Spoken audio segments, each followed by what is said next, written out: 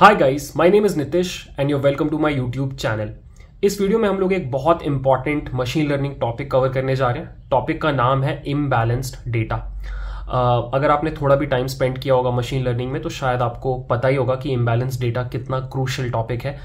Both in terms of जब आप industry में काम करते हो और या फिर जब आप इंटरव्यूज़ के लिए प्रिपेयर करते हो तो ये टॉपिक समहाउ मैंने कवर नहीं किया था अभी तक इस चैनल पे और मुझे मल्टीपल रिक्वेस्ट आ रही थी तो मुझे लगा कि uh, let's make a video on this topic so इस वीडियो में हम लोग सबसे पहले ये डिस्कस करेंगे कि इम्बैलेंस्ड डेटा क्या होता है इम्बैलेंस uh, डेटा के होने से क्या प्रॉब्लम्स हो सकती हैं आपको क्यों इम्बैलेंस डेटा पढ़ना चाहिए और उसके बाद हमने पाँच टेक्निक्स डिस्कस की हैं इस वीडियो में जहाँ पर आप ये सीखोगे कि अगर आपके पास इम्बैलेंस डेटा है तो आप उसको कैसे इफेक्टिवली हैंडल कर सकते हो।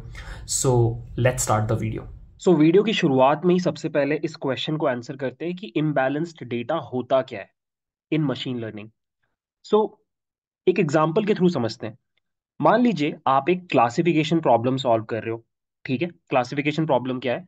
कि आपके पास एक कॉलेज uh, का डेटा है जहाँ पे आपके पास कुछ स्टूडेंट्स हैं और उन स्टूडेंट्स का आपके पास सीजीपीए का डेटा है आईक्यू का डेटा है और प्लेसमेंट हुआ या नहीं हुआ इसका डेटा है।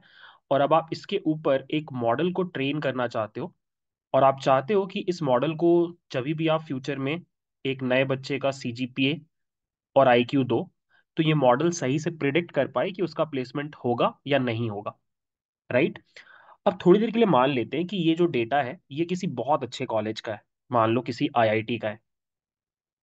और आईआईटी का है मतलब यहाँ पर ज़्यादातर बच्चों का प्लेसमेंट हो जाता है।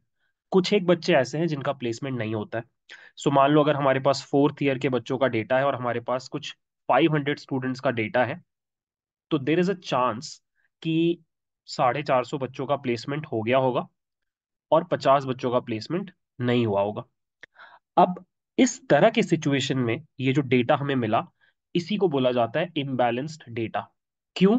क्योंकि यहाँ पे जो दो क्लासेस हैं प्लेसमेंट हुआ या नहीं हुआ, इन दोनों क्लासेस के बीच में एक इम्बैलेंस है राइट आपका बहुत ज़्यादा मेजॉरिटी में प्लेसमेंट होने वाले बच्चे हैं और माइनॉरिटी में नहीं होने वाले बच्चे हैं। अब अगर आप इसको प्लॉट करो तो आपको कुछ इस तरह का ग्राफ दिखाई देगा, जहाँ पे आपने एक्स एक्सिस पे सीजीपीए को रखा है वाई एक्सिस पे आईक्यू को रखा है एंड यू कैन सी कि यहाँ पे जो पॉइंट्स हैं, हर पॉइंट रिप्रेजेंट्स वन स्टूडेंट का data and you can see there are a lot of blue points जो ऐसे बच्चों को रिप्रेजेंट कर रहा है जिनका प्लेसमेंट हो जाता है, और रेड वाले पॉइंट्स ऐसे बच्चों को रिप्रेजेंट कर रहे हैं जिनका प्लेसमेंट नहीं होता है। So you can see blue का डेंसिटी और नंबर बहुत ज़्यादा है इन कंपैरिजन टू रेड वाले बच्चों का। तो इस तरह का सिनेरियो अगर कभी आपको दिखाई दे मशीन लर्निंग में तो इसी को बोला जाता है imbalanced data in machine learning ये जो मैंने आपको एग्ज़ाम्पल दिया ये एक बाइनरी क्लासिफिकेशन प्रॉब्लम का एग्ज़ाम्पल था बट ट्रस्ट मी ये सेम प्रॉब्लम आपको मल्टी क्लास क्लासिफिकेशन में भी हो सकती है। ऐसा भी हो सकता है कि आ, इसी कॉलेज में एक और ग्रुप ऑफ़ स्टूडेंट्स हैं जिन्होंने प्लेसमेंट में पार्टिसिपेट ही नहीं किया। तो मान लो वो बच्चे ज़्यादा नहीं है, दस ही बच्चे हैं और वो यहाँ पर है। तो अब ये मल्टी क्लास क्लासिफिकेशन प्रॉब्लम है बट इसमें एक क्लास ब्लू वाली क्लास बाकी दोनों क्लासेस को डोमिनेट कर रही है। ब्लू वाली क्लास मेजोरिटी में है ग्रीन वाली क्लास रेड वाली क्लास माइनॉरिटी में है। And this is an example of imbalanced data तो आई रियली होप आपको सबसे पहले ये समझ में आ गया कि इम्बैलेंस्ड डेटा होता क्या है मशीन लर्निंग में। अगर आपको ये समझ में आ गया तो अब आपके दिमाग में क्यूरियोसिटी आनी चाहिए कि तो क्या हुआ? अगर मेरे पास इम्बैलेंस डेटा है भी तो उसमें प्रॉब्लम क्या है? ये मैं आपको सबसे पहले समझाना चाहूँगा। अब इम्बैलेंस डेटा जो होता है ना, उसके साथ दो प्रॉब्लम्स आती हैं, और ये दोनों प्रॉब्लम्स बहुत बड़ी है। Let's talk about the first problem the first problem is bias let me explain इसका क्या मतलब है। मशीन लर्निंग में एवरीथिंग इज़ अबाउट डेटा आप किसी मशीन लर्निंग मॉडल को डेटा देते हो मशीन लर्निंग मॉडल उसमें पैटर्न्स खोजता है लर्न करता है और फिर एक बार जब वो सीख जाता है तो प्रिडिक्शंस कर पाता है। बट अगर आप उसको डेटा ही ना दो तो फिर वो सीख ही नहीं सकता। यही प्रॉब्लम अप्लाई होती है इम्बैलेंस डेटा में। इम्बैलेंस डेटा में आपके पास दो क्लासेज हैं।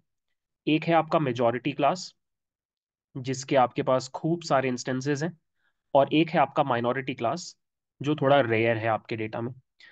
तो होगा क्या कि जब आप इन दोनों को भेजोगे किसी एक मशीन लर्निंग एल्गोरिदम के पास तो मशीन लर्निंग एल्गोरिदम को ज़्यादा डेटा दिखाई देगा मेजॉरिटी क्लास का और सिंस उसको ज़्यादा डेटा दिखाई देगा मेजॉरिटी क्लास का तो वो ज़्यादा सीखेगा भी मेजॉरिटी क्लास के बारे में, ज़्यादा फोकस भी करेगा मेजॉरिटी वाले क्लास के बारे में और सिंस माइनॉरिटी वाली क्लास ऑब्वियसली माइनॉरिटी में है मतलब इसका ज़्यादा डेटा ही अवेलेबल नहीं है तो ये एल्गोरिदम इस क्लास के ऊपर ज़्यादा फोकस ही नहीं करेगा और इसको ज़्यादा वैल्यू नहीं करेगा इंपॉर्टेंस नहीं देगा।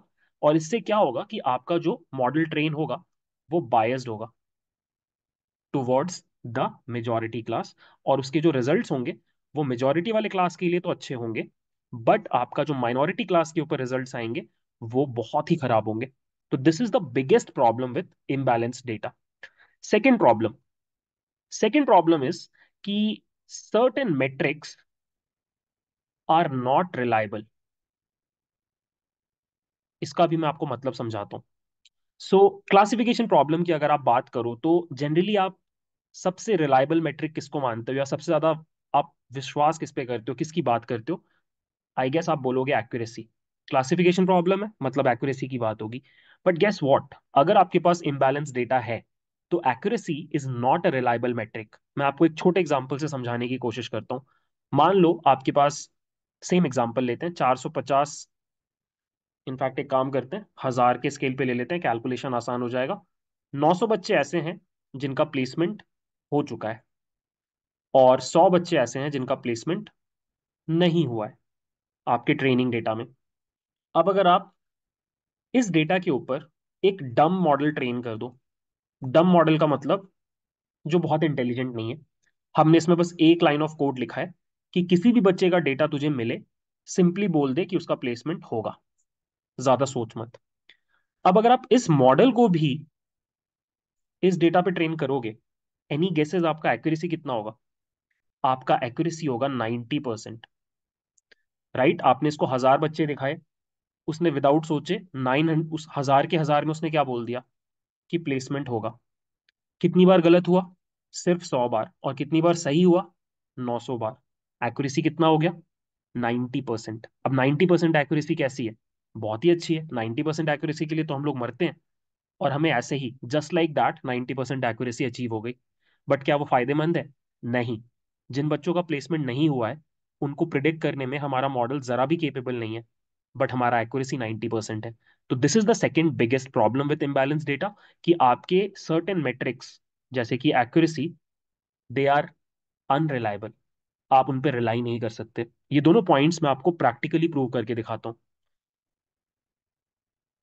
सो so, मैंने ये डेटा सेट लिया। ये एग्जैक्टली exactly वही डेटा है जो मैंने आपको थोड़ी देर पहले दिखाया था। सो so, इस डेटा में यू कैन सी इम्बैलेंस है। ब्लू वाला क्लास डोमिनेट कर रहा है। रेड वाला क्लास बहुत कम है। अब मैंने क्या किया? मैंने इस डेटा के ऊपर एक लॉजिस्टिक रिग्रेशन मॉडल को ट्रेन किया। ठीक है? और लॉजिस्टिक रिग्रेशन मॉडल को ट्रेन करने के बाद मैंने दो तीन चीज़ें की। सबसे पहले एक्यूरेसी कैलकुलेट किया। दूसरा मैंने डिसीज़न बाउंड्री प्लॉट करके आ, देखना चाहा। सबसे पहले मैं आपको डिसीज़न बाउंड्री दिखाता हूँ। ये देखो guys this is the decision boundary since हम लॉजिस्टिक रिग्रेशन यूज़ कर रहे हैं तो डिसीज़न बाउंड्री एक लाइन होगा। You can see this line ये लाइन कहाँ से गुजर रहा है? ये लाइन बहुत ही नीचे से गुजर रहा है।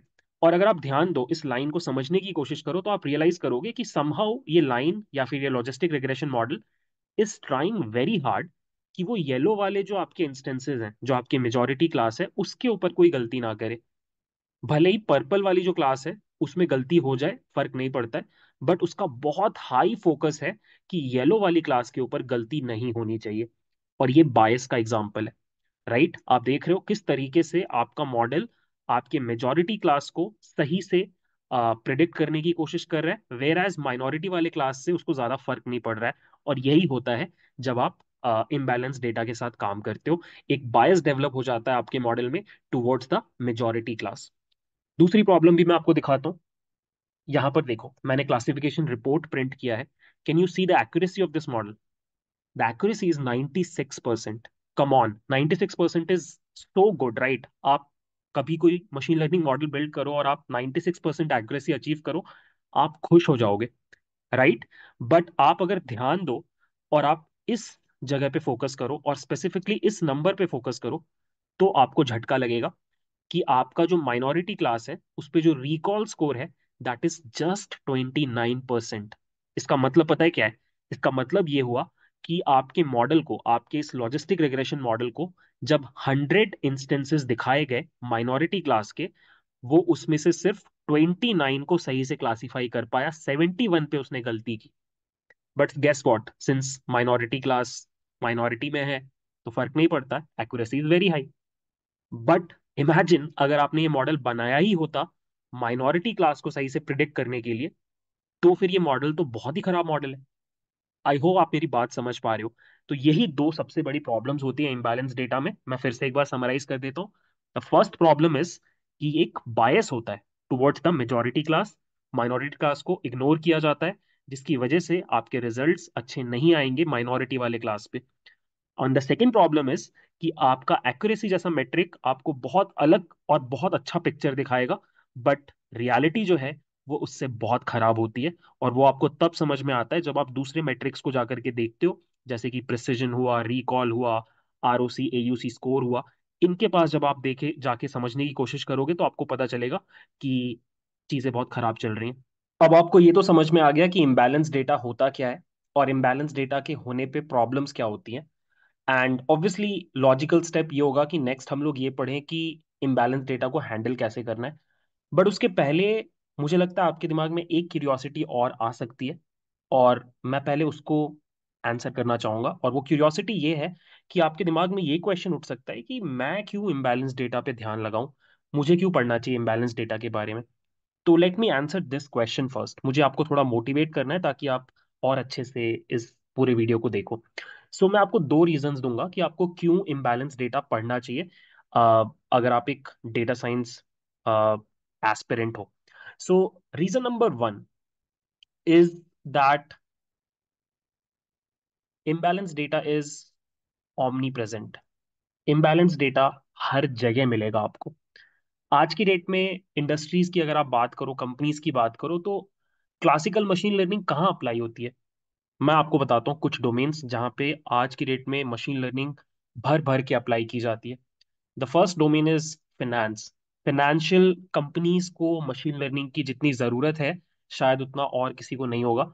उनका हर डिसीज़न मेकिंग मशीन लर्निंग पे डिपेंड करता है। Second is health care health care में भी मशीन लर्निंग बहुत यूज़ होता है।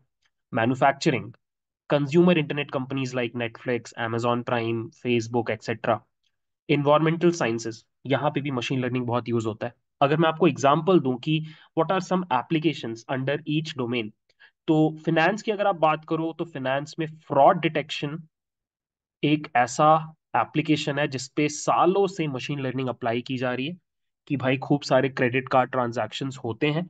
आपको उनमें से उन ट्रांजैक्शंस को खोजना है जो फ्रॉडुलेंट है। राइट? या फिर क्रेडिट रिस्क असेसमेंट, जो बैंक्स करते हैं लोन देने के पहले, कि इज़ देयर अ चांस कि ये लोन हमारा, जो हमने दिया है, वो डूब जाएगा? ये एक बहुत इंपॉर्टेंट एप्लीकेशन है। हेल्थ केयर में रेयर डिज़ीज़ प्रोडिक्शन राइट एक रेयर डिज़ीज़ है, और वो सिर्फ़ एक परसेंट लोगों को होता है। तो हमें प्रिडिक्ट करना है डेटा को देख करके कि किसको वो डिज़ीज़ हो सकता है। मैन्युफैक्चरिंग में होता है आ, कि किसी मशीन के खराब होने के पहले ही फिगर आउट कर लेना कि वो मशीन खराब हो सकती है राइट कंज्यूमर इंटरनेट कंपनीज़ के लिए चर्न प्रिडिक्शन एक बहुत इंपॉर्टेंट प्रॉब्लम स्टेटमेंट है।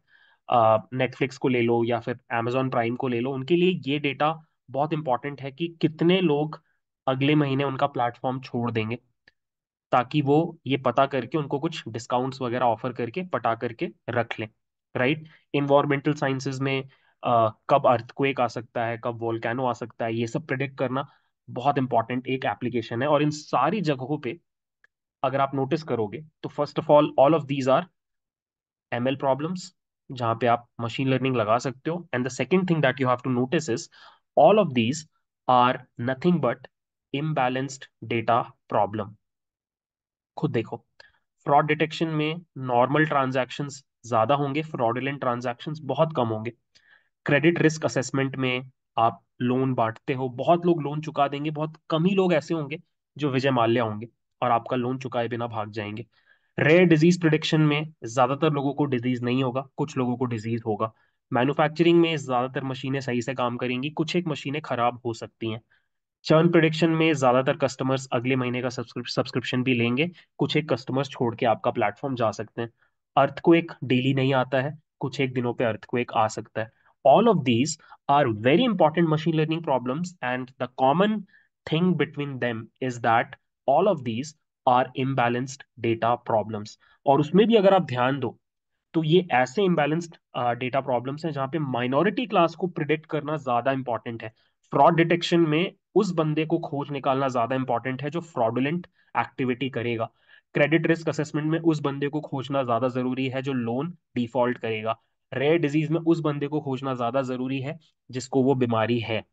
और आप ये सारे एग्जाम्पल्स में देख सकते हो कि माइनॉरिटी क्लास का प्रिडिक्शन इज़ सुपर इंपॉर्टेंट तो this is reason number one कि इंडस्ट्री में आज की डेट में अगर सौ लोग काम कर रहे हैं तो देर इज़ अ चांस कि 90 लोग उसमें से इम्बैलेंस डेटा प्रॉब्लम पे काम कर रहे होंगे। तो उस सेंस में it is very important if you are a data science aspirant कल आप इंडस्ट्री में जाके काम करोगे किसी कंपनी के लिए तो there is a huge chance कि आप इम्बैलेंस डेटा प्रॉब्लम पे भी काम कर सकते हो। एंड उसी से रीजन नंबर टू निकल के आता है। रीजन नंबर टू है कि इंटरव्यू पॉइंट ऑफ़ व्यू से ये टॉपिक बहुत इंपॉर्टेंट है। आप हमेशा मुझसे पूछते रहते हो ना कि बताओ कौन से टॉपिक्स हमें पढ़ने चाहिए इंटरव्यू पॉइंट ऑफ़ व्यू से।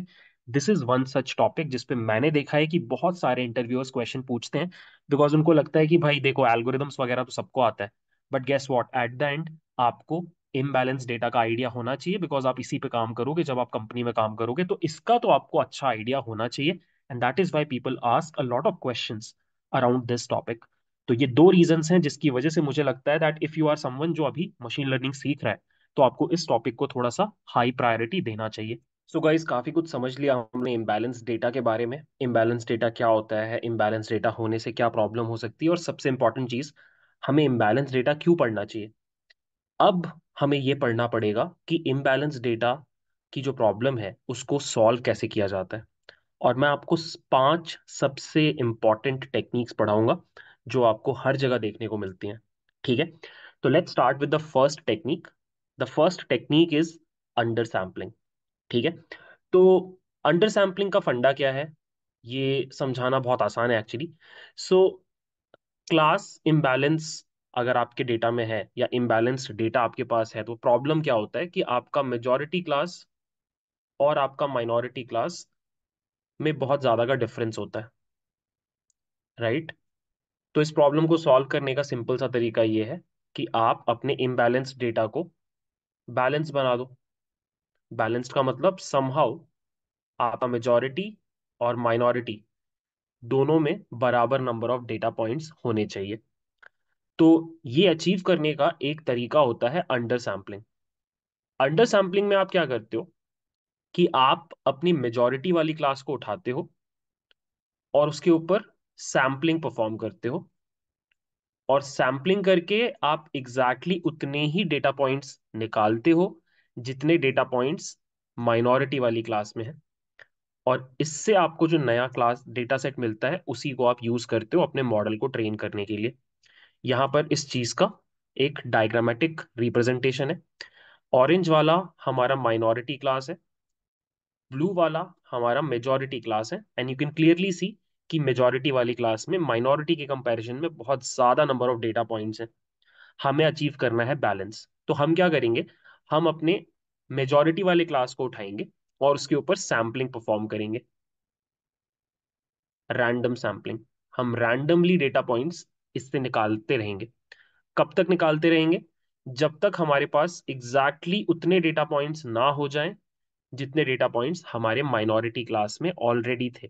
सो so, अगर यहाँ पर सौ थे और अगर यहाँ पे नौ सौ है तो हम इन नौ सौ में रैंडमली हंड्रेड डेटा पॉइंट्स निकाल रहे हैं और यहाँ पे ऑलरेडी हंड्रेड है। तो ये जो नया डेटा सेट हमें मिला, इसमें rather than having one thousand rows हमारे पास यहाँ पे टू थाउज़ेंड रोज या फिर डेटा पॉइंट्स होंगे।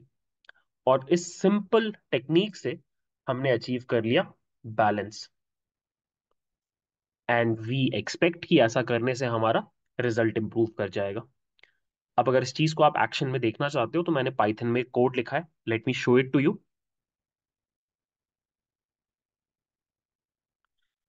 तो हम इसी डेटा सेट के साथ काम करने वाले हैं। इस डेटा सेट में इम्बैलेंस है ब्लू वाली क्लास बहुत मेजॉरिटी में है रेड वाली क्लास माइनॉरिटी में है। हम अप्लाई कर रहे हैं इसके ऊपर रैंडम अंडर सैम्पलिंग ठीक है? ये सारा कोड वैसे आप खुद से भी लिख सकते हो, बहुत आसानी से, बट हमें क्यों करने की ज़रूरत है जब हमारे पास ऑलरेडी एक बिल्ट इन क्लास है, जो हमें एक बहुत फ़ेमस लाइब्रेरी से मिलती है। लाइब्रेरी का नाम है इम्बैलेंस्ड लर्न ठीक है? बहुत ही प्यारी सी लाइब्रेरी है। आपको जितनी भी टेक्निक्स अप्लाई करनी है इम्बैलेंस डेटा के ऊपर, वो सारी इन लोगों ने इम्प्लीमेंट कर रखी है तो आप इसको आराम से यूज़ कर सकते हो। हमने सिर्फ़ रैंडम अंडर सैम्पलर क्लास को इम्पोर्ट किया। डेटा को स्प्लिट कर दिया दो पार्ट्स में और फिर रैंडम अंडर सैम्पलिंग हमने अप्लाई कर दी बाय राइटिंग दिस कोड ठीक है? फिट रीसैम्पल बोल के यहाँ पर एक मेथड होता है। यहाँ पर हमने अपना एक्स ट्रेन और वाई ट्रेन भेजा। उससे हमें अपना एक्स रीसैम्पल्ड वाई रीसैम्पल्ड मिल गया। And you can see this is the result ये हमारा ओरिजिनल डेटा है और ये देखो हमारा ट्रांसफॉर्म्ड डेटा यहाँ पर आपको दिख रहा होगा कि first of all number of data points reduce हो गए हैं। सेकेंड जो नंबर ऑफ़ ब्लू पॉइंट्स हैं और जो नंबर ऑफ़ रेड पॉइंट्स हैं, वो आपको बराबरी में दिख रहे होंगे। ये चीज़ मैं दूसरे तरीके से भी प्रूव कर सकता हूँ। अगर आप एक्स ट्रेन का शेप देखो तो उसमें 320 डेटा पॉइंट्स थे। अगर आप रीसैम्पल्ड वाले डेटा का शेप देखो तो there are just 42 data points similarly अगर मैं आपको एक और इंटरेस्टिंग चीज़ दिखाऊँ, कि ओरिजिनल डेटा में जो आपकी क्लासेस थे, उनके बीच का डिस्ट्रीब्यूशन ये था कि पॉजिटिव क्लास 299 था और नेगेटिव क्लास 21 था। यू कैन सी बहुत ज़्यादा इम्बैलेंस है। बट जैसे ही मैंने रीसैम्पलिंग किया या फिर अंडर सैम्पलिंग लगाया, मेरे ज़ीरो वाले भी 21 है और मेरे वन वाले भी 21 है। तो यू कैन सी इस तरीके से हमने क्या किया? इम्बैलेंस को हटाया बैलेंस को अचीव किया। इसके बाद मैं रुका नहीं। मैंने इस रीसैम्पल्ड डेटा के ऊपर एक लॉजिस्टिक रिग्रेशन मॉडल को ट्रेन किया जस्ट टू सी कि क्या परफॉर्मेंस में इंप्रूवमेंट आया कि नहीं। एंड पूरी चीज़ अप्लाई करने के बाद दीज आर द रिजल्ट्स तो this is my F one score this is my recall value अगर आपको याद होगा। थोड़ी देर पहले जब मैंने आपको रिकॉल दिखाया था the recall was not very good but under sampling apply करने के बाद रिकॉल हैज़ इम्प्रूव्ड वो अलग बात है कि प्रिसीजन खराब हो गया बिकॉज़ मे बी शायद उतना अच्छा भी रिज़ल्ट नहीं आ रहा है। Are O C A U सी वाला जो स्कोर है वो ठीक है। मेन चीज़ आपको यहाँ पे देखने को मिलेगी। यू कैन सी पहले जो मेरा डिसीज़न बाउंड्री था, वो कंप्लीटली इग्नोर करके चल रहा था माइनॉरिटी वाली क्लास को और पूरा उसका ध्यान था सिर्फ़ और सिर्फ़ येलो वाले पॉइंट्स को सही से क्लासिफाई करने के ऊपर, क्योंकि वो मेजोरिटी वाले डेटा पॉइंट्स थे बट जैसे ही हमने मेजोरिटी वाले डेटा पॉइंट्स को घटाया, अब आप एक तरीके से नोटिस करोगे कि भले ही ये बेस्ट डिसीज़न बाउंड्री नहीं है बट आपको ये चीज़ दिखाई देगा कि वो दोनों को बराबर इंपॉर्टेंस दे रही है राइट right? वो ब्लू पॉइंट्स को भी इंपॉर्टेंस दे रही है और येलो पॉइंट को भी इंपॉर्टेंस दे रही है। इन दैट सेंस हमने बैलेंस अचीव किया। रिज़ल्ट uh, उतने अच्छे इसलिए नहीं आ रहे बिकॉज़ इनहेरेंटली ये डेटा लीनियर नहीं है। मे बी कोई और एल्गोरिदम अगर आप लगाते हैं यहाँ पर let like imbalanced I am sorry ensemble learning का कोई एल्गोरिदम लगाते लेट्स से रैंडम फॉरेस्ट और सम बूस्टिंग एल्गोरिदम तो वो नॉन लीनियर बाउंड्रीज क्रिएट होती है और शायद आपको बेटर रिजल्ट्स मिलते। बट लॉजिस्टिक रिग्रेशन तो सिर्फ़ एक लाइन ड्रॉ करेगा। दैट इज़ वाई रिजल्ट्स उतने अच्छे नहीं है। बट आपको मेन आइडिया समझना है। मेन आइडिया ये था कि हमारा डेटा इम्बैलेंस था, जिसकी वजह से ज़्यादा फोकस हो जा रहा था मेजोरिटी वाली क्लास के ऊपर। बट जैसे ही हमने ये टेक्निक लगाया, क्या फ़ायदा हुआ कि अब जो हमारा एल्गोरिदम है, वो दोनों को रिस्पेक्ट कर रहा है। वो माइनॉरिटी को भी रिस्पेक्ट कर रहा है मेजोरिटी को भी रिस्पेक्ट कर रहा है बिकॉज़ उन दोनों का जो नंबर है, वो अब सेम हो चुका है। ठीक है? अगर मैं आपको बताऊँ इसके कुछ एडवांटेजेस एंड डिसएडवांटेजेस इस टेक्निक के तो सबसे पहला जो एडवांटेज है वो है रिडक्शन इन बायस ये हमने अपनी आँखों से देख लिया कि मेजोरिटी क्लास को अब थोड़ा सा इग्नोर करके इग्नोर नहीं करके दोनों को बराबर वैल्यू कर रहा है ये हमने नोटिस किया। सेकेंड फ़ायदा ये है कि अगर आपके पास बहुत बड़ा डेटा सेट होता हमारे पास तो छोटा सा डेटा सेट था बट मान लो आपके पास बहुत बड़ा डेटा सेट होता टेन लाख मेजोरिटी पॉइंट्स होते और वन लाख माइनॉरिटी पॉइंट्स होते तो इसके ऊपर जब आप अंडर uh, सैम्पलिंग करते तो आपके पास एक लाख मेजोरिटी वाले पॉइंट्स बचते और एक लाख माइनॉरिटी वाले पॉइंट्स बचते। तो आपके पास जो डेटा है, वो छोटा हो जाएगा और छोटा होने से आपका जो ट्रेनिंग है, वो फास्ट हो जाएगा। तो that is one of the benefits disadvantage भी है। डिसएडवांटेज तो सामने सामने आपको लग ही रहा होगा कि we are losing a lot of data right हमारे पास पहले जहाँ 320 के अराउंड रोज थे, कितने बचे? 42 बचे। तो ऑब्वियसली इतना डेटा जो हम इग्नोर कर दे रहे हैं, छोड़ दे रहे हैं हो सकता है उसमें कुछ इंपॉर्टेंट इन्फॉर्मेशन छुपा हो, जो हेल्प करता हमारे एल्गोरिदम को तो वो हम मिस कर जा रहे हैं। That is one of the problems ठीक है? एंड ऑल्सो सिंस हम ये टेन लाख से वन लाख पे जाने के लिए सैम्पलिंग कर रहे हैं तो सैम्पलिंग में भी एक बायस आ सकता है। हो सकता है आपने जो सैम्पलिंग की तो आपने एक टाइप के पॉइंट्स को रख लिया, दूसरे टाइप के पॉइंट्स को इग्नोर कर दिया तो उस सेंस में भी बायस डेवलप हो सकता है। तो you have to be very careful वैसे तो रैंडम सैम्पलिंग करोगे तो उस तरीके से उतना बायस नहीं आता है but you have to be careful because sampling करने से बायस डेवलप हो सकता है। तो these are like some advantages and disadvantages of this technique but this is a very very useful technique जो लोग काफ़ी इस्तेमाल करते हैं। While doing their projects let's move on to the second technique जिसको आप यूज़ करते हो इम्बैलेंस डेटा को हैंडल करने के लिए. The technique is called over sampling again एक बहुत सिंपल कॉन्सेप्ट हमारे पास इम्बैलेंस डेटा है. हमारे पास मेजॉरिटी में है 900 डेटा पॉइंट्स माइनॉरिटी में है, सिर्फ़ 100 डेटा पॉइंट्स और डेटा में एक इम्बैलेंस है, और हमें इस इम्बैलेंस को हटाना है बैलेंस अचीव करना है। तो एक तरीका तो ये है कि आप अपने मेजोरिटी क्लास को घटा दो, जैसा हमने थोड़ी देर पहले देखा।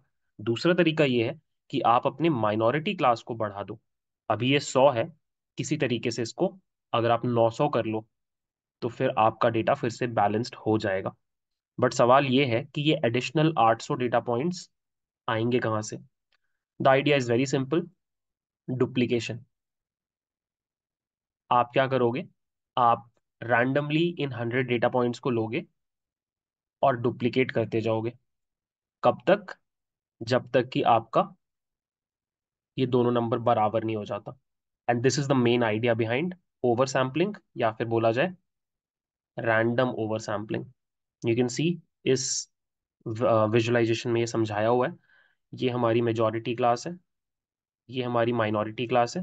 And what we are doing is we are up sampling our minority class with the help of random कब तक? जब तक दोनों बराबर नहीं हो जाते। Very simple concept duplication of data to achieve balance ठीक है? इसके लिए भी मैंने एक पाइथन कोड लिखा है। Let me show it to you so हमारे I M B learn library में इसके लिए भी एक क्लास दिया हुआ है random over sampler same flow है जो ऊपर था। ट्रेन टेस्ट स्प्लिट मारा है और एक्स ट्रेन वाई ट्रेन के ऊपर फिट सैंपल को कॉल करके X resampled Y resampled create किया है and this is the result ये हमारा डेटा जैसा पहले था और ये डेटा इस टेक्निक को लगाने के बाद।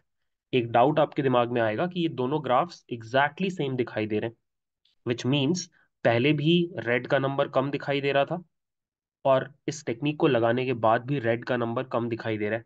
तो फिर फ़ायदा क्या हुआ? रैंडम ओवर सैम्पलिंग लगाने का। आई गेस आप लोगों ने इसको फिगर आउट कर लिया होगा। सो so, हुआ क्या है कि ये सेकेंड डायग्राम में नंबर ऑफ़ डेटा पॉइंट्स ज़्यादा है। Number of red data points ज़्यादा है। द ओनली प्रॉब्लम इज़ कि वो ओवरलैप कर गए बिकॉज़ ऑफ़ डुप्लीकेशन सो ये जो आपको दिखाई दे रहा है यहाँ पर there is a good chance कि ये एक सिंगल डेटा पॉइंट नहीं है। हो सकता है आठ दस डेटा पॉइंट्स हो। इट्स जस्ट कि वो एक दूसरे के ऊपर स्टैकअप कर चुके हैं, जिसकी वजह से हमें डिस्टिंक्शन समझ नहीं आ रहा। सो टेक्निक अप्लाई हुई है। विजुअलाइजेशन में आपको समझ नहीं आएगा। बेटर तरीका ये होता कि मैं ओपेसिटी यूज़ करता ग्राफ का। मैं यहाँ पे थोड़ा ट्रांसपेरेंट टाइप के डेटा पॉइंट्स बनाता और यहाँ पे उससे अपने आप ओपेसिटी बढ़ जाती है अगर खूब सारे पॉइंट्स आते। बट इट्स ओके आप कर सकते हो। उसके बाद just to cross check X train में 320 डेटा पॉइंट्स थे। एक्स रीसैम्पल्ड में नंबर ऑफ़ डेटा पॉइंट्स बढ़ के three ninety five ninety eight हो गए। अगर आप क्लास इम्बैलेंस की बात करो तो पहले 291 299 इज़ टू 21 था। After applying this technique 299 is to 299 है। फिर से मैं रुका नहीं, मैंने आगे बढ़ा और लॉजिस्टिक रिग्रेशन अप्लाई किया ट्रांसफॉर्म डेटा के ऊपर and these are the results so you can see recall improve कर गया है। प्रिसीजन यहाँ पे भी थोड़ा हिट ले रहा है। Are O C A C curve भी ठीक है और मेन चीज़ है ये decision boundary you can see it's respecting the minority class as well which shows कि हमारा ये टेक्निक एट सम लेवल काम कर रहा है राइट right? अगर हम वापस जाएँ और डिस्कस करें इस टेक्निक के कुछ एडवांटेजेस एंड डिसएडवांटेजेस तो एडवांटेज में फिर से एडवांटेज सेम है कि बायस का रिडक्शन हो रहा है विच मीन्स अब ज़्यादा फोकस माइनॉरिटी क्लास पे भी आ रहा है, दोनों पे बराबर फोकस आ रहा है which is a good thing अगर आप डिसएडवांटेज की बात करो तो पहला डिसएडवांटेज है कि जो साइज़ होता है डेटा सेट का वो बढ़ जाता है। ऑलमोस्ट डबल हो जाता है राइट बिकॉज़ आप अप सैंपल कर रहे हो। तो अगर आप बहुत बड़े डेटा के साथ डील कर रहे हो ऑलरेडी एक जीबी का डेटा था वो दो जीबी का हो जाएगा that's a problem right and second is a bigger problem कि आप क्या कर रहे हो आप डुप्लीकेशन की हेल्प से नया डेटा क्रिएट कर रहे हो। अब डुप्लीकेशन इज़ नॉट गुड एक ही पॉइंट अगर बार बार बार बार क्रिएट होता जाएगा तो आप अगर कोई मशीन लर्निंग एल्गोरिदम लगाओगे तो उसको ये डेटा पॉइंट बहुत इंपॉर्टेंट लगने लगेगा। और इस डेटा पॉइंट की वजह से ओवरफिटिंग हो सकता है specially in certain algorithms like decision tree decision tree के साथ अगर आप रैंडम ओवर सैम्पलिंग करते हो, आपको कई बार ओवरफिटिंग देखने को मिलता है और आपका रिज़ल्ट अच्छा नहीं रहता। है तो ये दो डिसएडवांटेजेस हैं इस टेक्निक के। जो थर्ड टेक्निक हम लोग पढ़ने जा रहे हैं, उसका नाम है स्मोट और मेरे हिसाब से ये सबसे पॉपुलर टेक्निक है। डेटा साइंस कम्युनिटी में अगर आपको कभी भी इम्बैलेंस्ड डेटा के बारे में सुनने को मिलेगा तो साथ में आपको स्मोट के बारे में भी पढ़ने को मिलेगा। स्मोट का फुल फॉर्म होता है synthetic minority over sampling technique ठीक है? Synthetic minority over sampling technique तो एसेंशियली स्मोट एक ओवर सैम्पलिंग टेक्निक है। ओवर सैम्पलिंग मतलब जहाँ पे आप बैलेंस अचीव करने के लिए माइनॉरिटी क्लास को अप सैंपल करते हो मतलब उसका नंबर बढ़ाते हो। तो यहाँ पर भी आप सेम काम करते हो, बस एक बहुत बड़ा डिफरेंस है।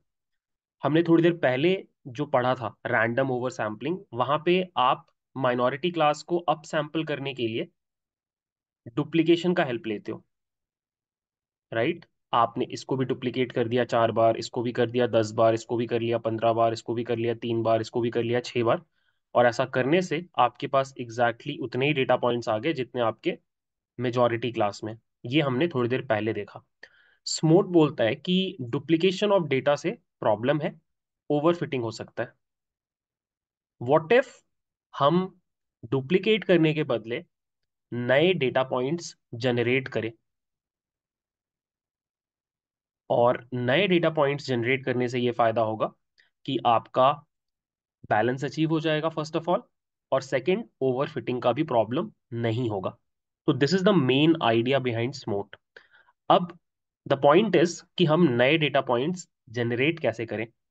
सो so, यहाँ पर स्मोट एक स्मार्ट टेक्निक यूज़ करता है जिसको हम इंटरपोलेशन बोलते हैं। इंटरपोलेशन बहुत ही सिंपल टेक्निक है। बट इंटरपोलेशन की हेल्प से आप क्या करते हो? आप अपने दो एग्जिस्टिंग माइनॉरिटी डेटा पॉइंट्स के बीच में कहीं पर नया डेटा पॉइंट जनरेट करते हो यू कैन सी राइट तो मैं काम करता हूँ, मैं आपको स्टेप बाय स्टेप एल्गोरिदम समझाता हूँ कि ये एल्गोरिदम या ये टेक्निक काम कैसे करता है। ठीक है? बहुत ही सिंपल है। तो स्टेप वन में आप क्या करते हो कि आप अपने माइनॉरिटी क्लास को उठाते हो जो हमारे केस में ब्लू सैंपल्स हैं, और उनके ऊपर एक के ट्रेन करते हो। फाइव नेबर के ठीक है? विच मीन्स हम क्या कर रहे हैं कि हम अपने हर माइनॉरिटी डेटा पॉइंट के फाइव नियरेस्ट नेबर्स खोज रहे हैं, ठीक है? तो जैसे ही ये स्टेप हो जाएगा, मुझे ये पता चल जाएगा कि मेरे हर माइनॉरिटी डेटा पॉइंट के फाइव सबसे क्लोजेस्ट नेबर्स कौन से हैं? अगर ये आपको पता चल गया तो इसके बाद अब मेन काम शुरू होता है, जहाँ पर आप सिंथेटिक डेटा जनरेशन करते हो, ठीक है? तो इसका प्रोसेस क्या है? बहुत सिंपल है। आप सबसे पहले क्या करते हो? Out of all your minority class examples आप किसी एक को रैंडमली चूज़ करते हो। लेट्स से आपने इसको रैंडमली चूज़ किया, ठीक है? आपने इसको रैंडमली चूज़ किया। उसके बाद आप क्या करोगे? आप जिस पॉइंट को आपने सेलेक्ट किया है, उसके पाँच नेबर्स होंगे। इस पॉइंट के पाँच नेबर्स होंगे।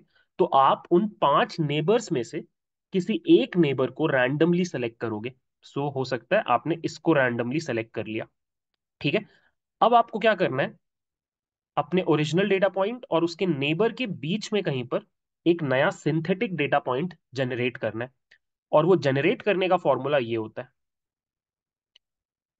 Original sample minus a factor multiplied by original minus या sample minus neighbour this is the formula ये फॉर्मूला मैं आपको एग्ज़ाम्पल के थ्रू समझाता हूँ। मान लो आपका ओरिजिनल जो सैंपल है वो वन वन है और जो आपका नेबर है वो टू टू है और हमें इसके बीच में एक नया डेटा पॉइंट जनरेट करना है। तो सबसे पहले आपको एक फैक्टर चूज़ करना पड़ता है। फैक्टर आप रैंडमली चूज़ करते हो बिटवीन ज़ीरो से वन थोड़ी देर के लिए मान लेते हैं कि हमने चूज़ किया पॉइंट फाइव ठीक है? अब क्या होगा? आपका यहाँ पे है one comma one minus point five times one comma one minus two comma two so यहाँ पे आ गया one comma one minus point five times अंदर आ जाएगा minus one comma minus one one comma one minus minus point five, minus point five. और जब आप इसको फाइनली जोड़ोगे तो ये आ जाएगा।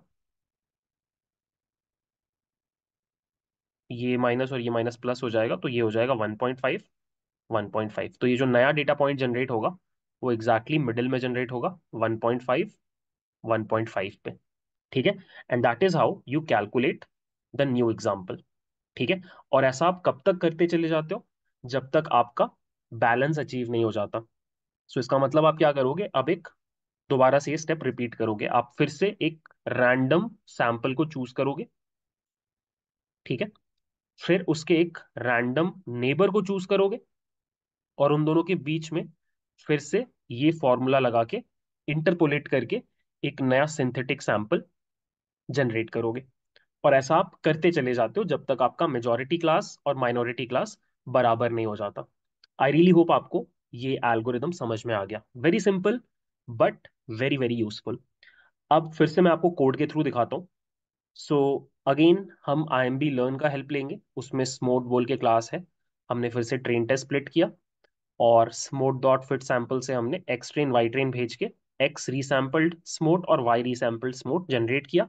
And you can see this is the result ये हमारा ओरिजिनल डेटा है और ये है हमारा resampled data you can see linear interpolation की वजह से आपके रेड के जो डेटा पॉइंट्स हैं वो काफ़ी बढ़ गए ठीक है? और यही चीज़ यहाँ पे प्रूव हो रही है।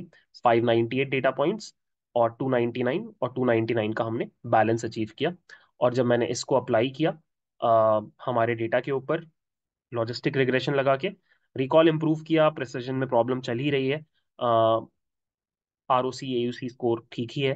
अगेन जो चीज़ हमें गाइड कर रही है वो है decision boundary decision boundary again shows कि लॉजिस्टिक रिग्रेशन थोड़ा तो वैल्यू कर रहा है माइनॉरिटी वाली क्लास को.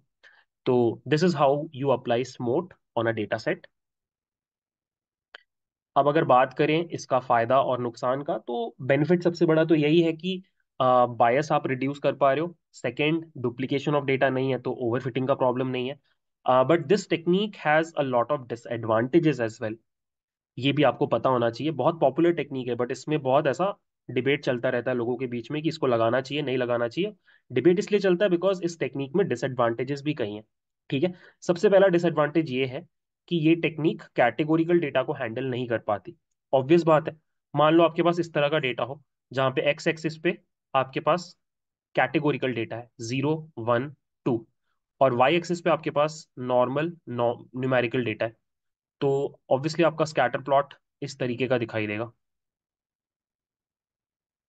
Right right? इस तरीके का कुछ दिखाई देगा। अब इसमें मान लो आपका ये डेटा पॉइंट ये डेटा पॉइंट ये डेटा पॉइंट ये डेटा पॉइंट और ये डेटा पॉइंट ये आपकी माइनॉरिटी क्लास है। अब मान लो आपको क्या करना है? आपको रैंडमली किसी एक डेटा पॉइंट को आपने सेलेक्ट किया, मान लो आपने इसको सेलेक्ट किया और इसके एक नेबर को सेलेक्ट किया, मान लो ये है वो नेबर और अब आपको क्या करना है लीनियर इंटरपोलेशन लगा के इन दोनों के बीच में एक सिंथेटिक डेटा पॉइंट जनरेट करना है। थोड़ी देर के लिए मान लेते हैं कि आपका डेटा पॉइंट यहाँ पे जनरेट हुआ। अब यहाँ पे जनरेट हुआ तो प्रॉब्लम ये है कि इसका वाई एक्सिस वैल्यू क्या होगा? Maybe point seven but guess what point seven तो हो ही नहीं सकता हमारा because it is a categorical data उसकी वैल्यू या तो ज़ीरो होगी, या तो वन होगी, या तो टू होगी। पॉइंट सेवन तो हो ही नहीं सकती। तो that's the main problem categorical data पे आप इसको नहीं लगा सकते। Second is the computational complexity आप सबसे पहले इस डेटा पे के लगा रहे हो। के के बारे में आपको पता होना चाहिए। अगर आपका डेटा बहुत बड़ा है और बहुत ज़्यादा डायमेंशन का है तो फिर के लगाना हमेशा प्रॉब्लमैटिक होता है because it's a slow algorithm आप हर पॉइंट का, हर पॉइंट के साथ डिस्टेंस निकालते हो सॉर्ट करते हो। You do a lot of things high dimensional data में प्रॉब्लम होगी। अगला ये है, ये बहुत इंटरेस्टिंग पॉइंट है कि इस एल्गोरिदम का परफॉर्मेंस इस बात पे डिपेंड करता है कि आप हर माइनॉरिटी पॉइंट के कितने नेबर्स लेके चल रहे हो। अगर आप बहुत कम नेबर्स लेके चलो, मान लो आप के इक्वल टू वन लेके चलो तो प्रॉब्लम क्या होगा कि हर डेटा पॉइंट का सिर्फ़ एक ही नेबर पकड़ के आप डेटा पॉइंट जनरेट करते जाओगे तो इस लाइन पे खूब सारे पॉइंट्स जनरेट हो जाएँगे। वेराइटी नहीं आएगी राइट वेर एज अगर आप बहुत ज़्यादा नंबर ऑफ़ डेटा पॉइंट्स को कंसिडर कर लो एज नेबर्स तो क्या होगा कि खूब ज़्यादा वैरायटी आ जाएगी। मतलब आपके पूरे फीचर स्पेस में हर जगह पे आपको पॉइंट दिखने लगेंगे, जो कि अगेन अच्छी बात नहीं है। तो you have to be in the middle somewhere और वो मिडिल फाइंड आउट करना थोड़ा मुश्किल होता है। जनरली लोग के इक्वल टू फाइव लेके चलते हैं but again it depends on the data अगला पॉइंट भी बहुत इंटरेस्टिंग है it is sensitive to outliers what what if मेरे पास इस तरीके से मेरी माइनॉरिटी क्लास है और एक डेटा पॉइंट यहाँ पर है, ये भी माइनॉरिटी क्लास का है। तो रैंडमली कभी ये भी सेलेक्ट होगा। ये सेलेक्ट होगा तो इसका कोई तो कोई नियरेस्ट नेबर होगा। मान लो ये उसका नियरेस्ट नेबर है। अब आपने क्या किया? लीनियर इंटरपोलेशन लगाया तो आपका एक डेटा पॉइंट यहाँ जनरेट हुआ। फिर ये सेकेंड नियरेस्ट नेबर है तो एक डेटा पॉइंट यहाँ पे जनरेट हुआ। कैन यू सी एक single outlier noisy data point की वजह से और बहुत सारे आउटलायर नॉइजी डेटा पॉइंट्स आपके डेटा में आ रहे हैं। तो ऑब्वियसली आपके डेटा का डिस्ट्रीब्यूशन खराब हो रहा है और परफॉर्मेंस अच्छा नहीं रहेगा। This is point number four point number five कि इस टेक्निक का सबसे बड़ा क्रिटिसिज्म ये है कि कल को अगर आपने खूब सारे डेटा पॉइंट जनरेट कर भी दिए लाइक दिस तो क्या गारंटी है कि ये जो डेटा पॉइंट जनरेट हुए हैं, ये सच में आपके डेटा के डिस्ट्रीब्यूशन को रिप्रेजेंट कर रहे हैं? व्हाट इफ़ ये रियलिटी है ही नहीं? आपने अपनी मर्ज़ी से जनरेट कर दिया बट रियलिटी में डेटा ऐसा था ही नहीं। राइट पॉपुलेशन डेटा की बात कर रहा हूँ मैं। ट्रू डिस्ट्रीब्यूशन की बात कर रहा हूँ जो कोई फिगर आउट नहीं कर सकता है बस रिजल्ट्स में आपको दिखाई देगा। तो ये सिंथेटिक डेटा जनरेशन में ये बहुत बड़ा प्रॉब्लम है कि आपने जो डेटा जनरेट किया देर इज़ नो गारंटी कि वो uh, आपके डेटा का जो ओरिजिनल डिस्ट्रीब्यूशन है उसको फॉलो करेगा। तो these are the five major drawbacks of applying SMOTE but again it's very popular लोग लगाते हैं और लोग इसके बारे में बहुत सारी बुराई भी करते हैं। But it's an interesting technique और इसके बहुत सारे वेरिएंट्स भी हैं मैं आपको वीडियो के एंड में दिखाऊँगा। जो फोर्थ टेक्निक हम लोग देखने जा रहे हैं वो भी बहुत इंटरेस्टिंग है और वो है ऑनसॉम्बल मेथड्स ऑनसॉम्बल मेथड्स आपने पढ़े होंगे बैगिंग बूस्टिंग रैंडम फॉरेस्ट ये सारी चीज़ें। तो uh, हम क्या कर सकते हैं हम ऑनसॉम्बल मेथड्स को थोड़ा सा ट्वीक कर सकते हैं उनके बिहेवियर को थोड़ा सा बदल सकते हैं in order to handle imbalanced data so उसी का एक एग्ज़ाम्पल मैं आपको दे रहा हूँ। एक एल्गोरिदम होता है balanced random forest random forest तो शायद आपको पता ही होगा। ये उसी का एक थोड़ा सा स्लाइटली डिफरेंट वर्जन है जो इम्बैलेंस डेटा के साथ बहुत अच्छा काम करता है। मैं आपको बहुत जल्दी सिंपल तरीके से बताता हूँ कि बैलेंस्ड रैंडम फॉरेस्ट कैसे काम करता है और कैसे वो इम्बैलेंस डेटा को हैंडल करता है। सो so, मान लो आपके पास ये इम्बैलेंस डेटा है जहाँ पे आपके पास जो मेजोरिटी क्लास है उसमें 900 डेटा पॉइंट्स है और जो आपका माइनॉरिटी क्लास है उसमें 300 डेटा पॉइंट्स है। ठीक है?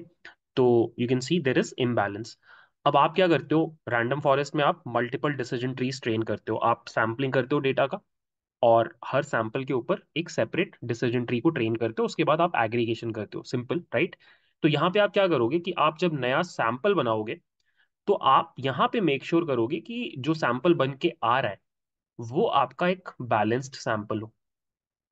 डेटा भले ही इम्बैलेंस्ड है बट सैम्पलिंग करोगे जब आप तो आप बैलेंस अचीव करने की कोशिश करोगे। तो आपने क्या किया? आपके पास 1200 डेटा पॉइंट्स का आ, पूरा डेटा सेट था। आपने उससे जो पहला सैंपल बनाया वो 600 डेटा पॉइंट्स का बनाया। उस 600 डेटा पॉइंट्स में 300 आपके माइनॉरिटी वाले होंगे और 300 आपके मेजॉरिटी वाले होंगे जो कि सैम्पलिंग से अचीव होगा रैंडम सैम्पलिंग से। और इसके ऊपर अब आप एक डिसीज़न ट्री मॉडल को ट्रेन कर दोगे। फिर आप सेकेंड सैंपल सेम तरीके से बनाओगे आपके 300 माइनॉरिटी वाले पॉइंट्स और फिर आपने सैम्पलिंग करके निकाला 300 मेजॉरिटी वाले डेटा पॉइंट्स इस पे हमने सेकेंड डिसीज़न ट्री को ट्रेन किया एंड सिमिलरली हमने थर्ड सैंपल बनाया विच इज़ अगेन बैलेंस्ड और इसके ऊपर आप अपने अपना थर्ड डिसीज़न ट्री को ट्रेन किया। और उसके बाद प्रिडिक्शन करने के टाइम आप इन तीनों मॉडल से सेम क्वेश्चन पूछोगे और लेट्स से पहले वाले ने बोला वन दूसरे वाले ने बोला ज़ीरो दूसरे वाले ने बोला वन तो आउटपुट आएगा one because of majority count तो रफली the idea is same the only difference that there is वो है कि आप जब सैम्पलिंग करके नया डेटा सेट बना रहे हो तो वहाँ पे आप बैलेंस अचीव कर रहे हो। ठीक है? इसी का और बेटर अगर आपको रिप्रेजेंटेशन देखना है तो this is the representation this is your original data which has got a lot of points in your majority class and a very few points in your minority class इससे आप क्या कर रहे हो? सबसेट्स बना रहे हो। This is subset one right? This is subset one you can see यहाँ पे हमने सैम्पलिंग परफॉर्म कर दी मेजोरिटी क्लास पे और ये रहा हमारा minority class as it is फिर हमने फिर से एक बार सैम्पलिंग परफॉर्म की मेजोरिटी पे और माइनॉरिटी वाला as it is this is the third third subset और फिर इन तीनों के ऊपर हमने एक एक डिसीज़न ट्री को ट्रेन किया और आगे का प्रोसेस बिल्कुल वैसा ही है जैसा आपका होता है नॉर्मल रैंडम फॉरेस्ट में। ठीक है? सो, ये रहा इसका कोड। यहाँ पर आपको रीसैम्पल करने की ज़रूरत नहीं है। आपको बस अपना डेटा स्प्लिट करना है X train X test split किया। और फिर नॉर्मल जैसे आप कोई मशीन लर्निंग एल्गोरिदम लगाते हो, उस तरीके से आप मॉडल को ट्रेन कर सकते हो। और आगे फिर आप उसको देख सकते हो कि उसका रिज़ल्ट कैसा आ रहा है। So you can see recall has improved precision is not that great R O C A C थोड़ा सा घटा है बाकियों के कंपैरिजन में बट हमने कुछ फाइन ट्यून नहीं किया है, करने से शायद इम्प्रूव कर जाता। This is the decision boundary you can see it is respecting the presence of purple data points which is your minority data points और येलो को भी बैलेंस देने की कोशिश कर रहा है। तो उस सेंस में कुछ तो फ़ायदा दिखाई दे रहा है राइट तो ये एक अच्छी टेक्निक है। इसमें और भी कुछ कुछ टेक्निक्स यूज़ होती हैं। बूस्टिंग में भी आप ये सेम काम कर सकते हो। बट फ़िलहाल लेट्स फोकस ऑन बैगिंग या फिर रैंडम फॉरेस्ट जो लास्ट टेक्निक हम लोग देखेंगे, उसका नाम है cost sensitive learning cost sensitive learning क्या होता है कि आप मशीन लर्निंग एल्गोरिदम के लर्निंग प्रोसेस में ही कुछ ऐसे चेंजेस कर देते हो, जिससे कि क्या होता है, आपका machine learning algorithm imbalance data को थोड़ा बेटर तरीके से हैंडल कर पाता है. दैट्स द होल आइडिया आप लर्निंग प्रोसेस में चेंजेस कर रहे हो, ठीक है? ये अचीव करने के दो तरीके हैं। मैं आपको दोनों का एक आइडिया दूँगा। अ, पहला जो टेक्निक है वो है क्लास वेट्स। क्लास वेट्स का फंडा बहुत सिंपल है कि आप मशीन लर्निंग मॉडल को ट्रेन करने के टाइम पे आपने दोनों क्लासेस को वन वाली क्लास को और ज़ीरो वाली क्लास को एक एक वेट असाइन करते हो। राइट? वन एग्ज़ाम्पल मान लो आपका वन वाला क्लास मेजोरिटी में है। और उसमें नाइन हंड्रेड डेटा पॉइंट्स हैं, और आपका ज़ीरो वाला क्लास माइनॉरिटी में है, और उसमें सिर्फ़ हंड्रेड डेटा पॉइंट्स हैं। तो आप क्या करोगे? आप खुद से वेट्स इस तरीके से असाइन करोगे कि आपका माइनॉरिटी वाले क्लास का जो वेट होगा, वो ज़्यादा होगा।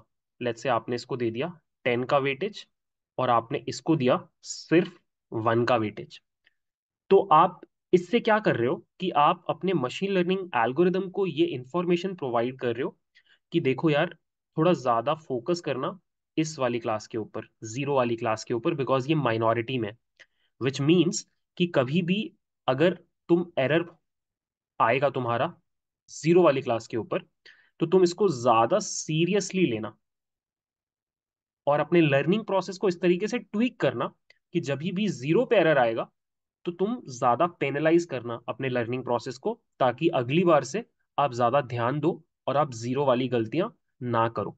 ठीक है? सो अगर आप ऑप्टिमाइजेशन बेस्ड एल्गोरिदम की बात करो तो इंटरनली अगर ग्रेडियंट डिसेंट जैसा एल्गोरिदम अप्लाई हो रहा है, मान लेते हैं तो अगर आप ज़्यादा वेटेज दे रहे हो ज़ीरो वाले को तो ज़ीरो वाले का जो अपडेट होता है वेट अपडेट होता है ना पैरामीटर अपडेट जो होता है, जो ग्रेडियंट डिसेंट में फॉर्मूला होता है वो सिग्निफिकेंटली लार्ज होगा, जिसकी वजह से ज़ीरो वाली गलतियों के लिए भी आप सही डायरेक्शन में मूव करोगे। ये थोड़ा टेक्निकल बातें हो गई। अगर आपने ग्रेडियंट डिसेंट पढ़ा होगा तो आप शायद समझ पा रहे होगे। अदरवाइज़ आपको थोड़ा जाके ग्रेडियंट डिसेंट पढ़ना होगा। मैं आपको नटशल में मेन चीज़ समझा देता हूँ। मेन चीज़ यही है कि आप एल्गोरिदम को किसी तरीके से ये बता रहे हो कि ये ज़ीरो वाला भी इंपॉर्टेंट है। भले ही तुमको डेटा में नहीं दिखाई दे रहा है, लेकिन ये इंपॉर्टेंट है, इसको ज़्यादा वेटेज दो। तो जब भी तुम ज़ीरो पे गलतियाँ करोगे, उसको सीरियसली लेना और अपने लर्निंग प्रोसेस को इस तरीके से ट्वीक करना कि ज़ीरो पे जो गलतियाँ हैं, वो मिनिमाइज हो। दैट्स द होल आइडिया और बहुत सारे क्लासिफिकेशन एल्गोरिदम्स आपको ये क्लास वेट वाला फीचर देते हैं। इनफैक्ट अगर आप साइकिट लर्न पे जाओ तो मैं आपको दिखाता हूँ कुछ फ़ेमस क्लासिफिकेशन एल्गोरिदम्स जैसे कि लॉजिस्टिक रिग्रेशन है, वहाँ पे आपको ये क्लास वेट दिखाई देगा। अगर आप एसवीएम में जाओ, वहाँ पे भी आपको दिखाई देगा। अगर आप डिसीज़न ट्री में जाओ तो वहाँ पे भी दिखना चाहिए। फ़िलहाल मुझे दिख नहीं रहा है, काफ़ी सारे पैरामीटर्स हैं। ये रहा क्लास वेट ठीक है? Same with boosting algorithms as well कुछ एक एल्गोरिदम्स ऐसे हैं, जहाँ पे आपको ये पैरामीटर दिखाई नहीं देता है। जैसे कि K N N because K N N में एसेंशली कोई लॉस फ़ंक्शन पे आप काम नहीं कर रहे हो। सेम विथ नाइव बेस वहाँ पे भी आपको नहीं दिखाई देगा। बट अदर देन दैट आपको मोस्टली सारे के सारे uh, जो एल्गोरिदम्स हैं जो किसी भी फॉर्म में लॉस फ़ंक्शन के ऊपर काम करते हैं ऑप्टिमाइजेशन पे काम करते हैं वहाँ पे आपको क्लास वेट्स का फंक्शनैलिटी दिखाई दे जाएगा। अगर हम कोड की बात करें तो क्लास वेट्स को इम्प्लीमेंट करना बहुत ही आसान चीज़ है बिकॉज़ आपके सारे एल्गोरिदम्स आपको डायरेक्टली पैरामीटर प्रोवाइड करते हैं। जैसे यहाँ पर देखो हमने क्या किया? डेटा को स्प्लिट किया लॉजिस्टिक रिग्रेशन लगा रहे हैं और यहाँ पे क्लास वेट्स बोल करके एक हमारे पास पैरामीटर है। हमने यहाँ पे बोल दिया कि ज़ीरो को ज़्यादा वेटेज देना है फाइव टाइम्स वन को वन टाइम्स ठीक है? और नॉर्मल जैसे हम डेटा को ट्रेन करते हैं मॉडल को ट्रेन करते हैं, वैसे हमने मॉडल को ट्रेन कर दिया, सब कुछ सेम है। And you can see this is the result right अब इंटरेस्टिंग चीज़ क्या है कि अगर आप यहाँ पे मान लो फाइव टाइम्स के बदले ट्वेंटी फाइव टाइम्स वेटेज देना चाहते हो तो ये देखो इससे रिज़ल्ट क्या आएगा यू कैन सी जो आपका डिसीज़न बाउंड्री है, वो थोड़ा और शिफ्ट हो गया और वो और ज़्यादा वैल्यू कर रहा है आपके माइनॉरिटी वाले डेटा पॉइंट्स के ऊपर एंड दैट इज़ वाई उनको सही से क्लासीफाई करने का उसके ऊपर बहुत प्रेशर आ चुका है राइट right? अगर मैं इसी को फिफ्टी कर दूँ तो ये प्रेशर और बढ़ जाएगा यू कैन सी और आगे की तरफ़ ये डिसीज़न बाउंड्री मूव कर रही है। तो class weights is also very interesting technique and the best part is very easy to implement almost सारे साइकिट लर्न इंटरफेसेस में आपको ये बिल्ट इन मिल जाता है और आप इसको अपने हिसाब से वेरी करके देख सकते हो कि आपको बेस्ट रिजल्ट्स कहाँ पे मिल रहे हैं। तो ये हो गया पहला टेक्निक जो आप लगाते हो कॉस्ट सेंसिटिव लर्निंग में। जो दूसरा टेक्निक है, वो काइंड ऑफ़ सिमिलर ही है। दूसरे टेक्निक में आप क्या करते हो you use a custom loss function अभी तक आपने मशीन लर्निंग में जो भी लॉस फ़ंक्शंस के साथ काम किया होगा, वो हो गए वही फ़ेमस वाले mean squared error log loss etcetera but what if मैं अपनी रिक्वायरमेंट के हिसाब से अपने लॉस फ़ंक्शन में थोड़ा बदलाव कर दूँ? तो there are certain machine learning algorithms जो मुझे ये फीचर देते हैं स्पेशली जो मेरे बूस्टिंग वाले एल्गोरिदम्स हैं, जैसे कि ग्रेडियंट बूस्टिंग हुआ एक्सटी बूस्ट हुआ लाइट जीबीएम हुआ, यहाँ पे मेरे पास ये ऑब्जेक्ट मतलब फीचर होता है कि मैं अपना कस्टम ऑब्जेक्टिव या कस्टम लॉस फ़ंक्शन पास कर सकता हूँ। अब मान लो हमारे पास एक ऐसा सिनेरियो है, जहाँ पे हमारा फॉल्स नेगेटिव जो एरर होता है, वो ज़्यादा क्रिटिकल है। In comparison to false positive let's say तो हम एक ऐसा custom log loss function define कर सकते हैं जहाँ पे हम फॉल्स नेगेटिव को ज़्यादा वैल्यू करेंगे in comparison to false positive और फिर सिंस हमने अपने कॉस्ट फ़ंक्शन में ही मॉडिफिकेशन कर दिए तो ऑटोमेटिकली रिज़ल्ट भी उस तरीके से बैलेंस हो जाएँगे। इसका मैं आपको एक एग्ज़ाम्पल दिखाता हूँ। सो so, अगर आप यहाँ पे देखो तो this is the code for custom loss function maybe अभी आपको ज़्यादा समझ में नहीं आएगा बट आपको बस मेन चीज़ों पे फोकस करना है। It's the same data set जो हम यूज़ करते आ रहे हैं। यहाँ पर हमने कस्टम लॉस डिफाइन किया है। uh, हम एक्स डी बूस्ट यूज़ करेंगे। एंड यू कैन सी हमने फॉल्स पॉजिटिव का पेनल्टी बढ़ा रखा है 3.5 और फॉल्स नेगेटिव का पेनल्टी घटा रखा है क्योंकि हमारे पास इसी तरह का प्रॉब्लम है जहाँ पे फॉल्स पॉजिटिव ज़्यादा क्रिटिकल है। मान लो ऐसा स्पैम फिल्टरिंग हम लोग बना रहे हैं तो वहाँ पे फॉल्स पॉजिटिव ज़्यादा क्रिटिकल होता है तो हमारा वैसा ही एप्लीकेशन है। अब आप क्या करोगे? आप जो ग्रेडियंट और हेशंस का कैलकुलेशन करोगे, जो आप एक्सी बूस्ट में करते हो, जिसके बिना आपका काम नहीं चलता, वहाँ पर आप इन एनहांस्ड वैल्यूज़ के साथ सारा का सारा कैलकुलेशन करोगे। तो आपका ग्रेडियंट्स और हेशंस का जो कैलकुलेशन है, वो इन वैल्यूज़ के बेसिस पे हो रहा है राइट और उसके बाद आगे का काम बहुत सिंपल है। हम normal X G boost apply कर रहे हैं और you can see this is the result this is the result right अगर आप इसी में अब चेंजेस करने लग जाओ मान लो आप इसको 3.5 के बदले 10 कर दो तो you would be able to see some changes ये देखो आपका ब्लू वाला रीजन बढ़ रहा है राइट बिकॉज़ आपने और ज़्यादा वेटेज असाइन कर दिया अ, अपने फॉल्स पॉजिटिव को। तो ये भी एक टेक्निक है।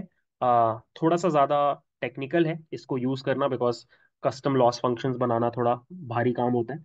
ज़्यादा आसान तरीका है अगर आप क्लास वेट्स यूज़ कर लो राइट तो जो भी है, ये भी एक तरीका होता है टू हैंडल इम्बैलेंस्ड डेटा ठीक है? तो हमने पाँच तरीके देखे under sampling over sampling over sampling का एक और टेक्निक देखा SMOTE ensemble method and cost sensitive learning अब अगर आप इंटरेस्टेड हो, ये जानने के लिए कि वो कौन सी और सारी टेक्निक्स हैं जो हमने नहीं पढ़ी तो मैं आपको उसका एक लिस्ट दे देता हूँ, ताकि आप खुद अगर पढ़ना चाहो तो पढ़ पाओ। इम्बैलेंस लर्न जो लाइब्रेरी है, इन लोगों का जो डॉक्यूमेंटेशन है, वो बहुत बढ़िया है। अगर आप एपीआई रेफरेंस में जाओगे तो यहाँ पर आपको हर टेक्निक के लिए कई तरह के ऑप्शंस मिलेंगे। जैसे अंडर सैम्पलिंग में हमने सिर्फ़ पढ़ा था रैंडम अंडर सैम्पलर बट यहाँ पर आप देख सकते हो और बहुत सारी टेक्निक्स और भी होती हैं right similarly for over sampling methods हमने क्या क्या पढ़ा था? हमने पढ़ा था रैंडम ओवर सैम्पलर और स्मोट बट यहाँ पर यू कैन सी स्मोट के और बहुत सारे वेरिएंट्स होते हैं। फिर आप ओवर सैम्पलिंग और अंडर सैम्पलिंग का कॉम्बिनेशन भी लगा सकते हो, उसके भी ऑप्शंस हैं। ऑनसॉम्बल मेथड के भी ऑप्शंस हैं। हमने पढ़ा था balanced random forest classifier bagging classifier भी होता है बूस्टिंग क्लासीफायर भी होता है तो ये सारे ऑप्शन हैं। आई वुड रिकमेंड एक बार आप इस लाइब्रेरी का एपीआई रेफरेंस जाकर के चेक करो, काफ़ी नॉलेज मिलेगा, ठीक है? So with that I guess this video is over मुझे, मेरा गोल था इस वीडियो के साथ कि आपको एक वन शॉट ओवरव्यू देना है इम्बैलेंस डेटा का। आई रियली होप मैं दे पाया। अगर आपको वीडियो पसंद आया प्लीज़ आप इसको लाइक करना। और अगर आपने चैनल को सब्सक्राइब नहीं किया है प्लीज़ डू सब्सक्राइब मिलते हैं नेक्स्ट वीडियो में। बाय